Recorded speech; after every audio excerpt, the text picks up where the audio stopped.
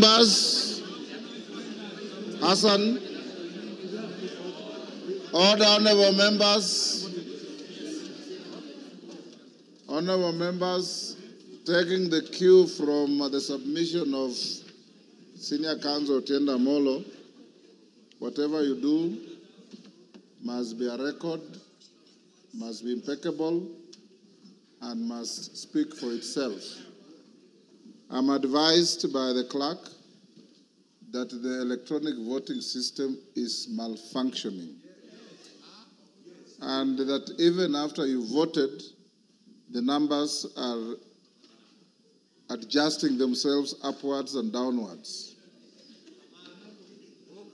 Consequently, I direct that that vote electronically is cancelled and annulled, and we'll do a roll call vote.